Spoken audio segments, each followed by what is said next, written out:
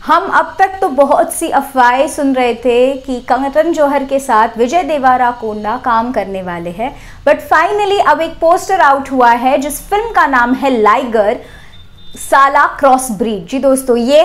Tag line है इस film की और ये जो फ़िल्म है, इसमें हमें विजय देवारा कोंडा के ऑपोजिट दिखने वाली है नाना ददन अनन्या पांडे। जी दोस्तों, इस पोस्टर में हमें ये देखने मिल रहा है किस तरीके से टाइगर और लायन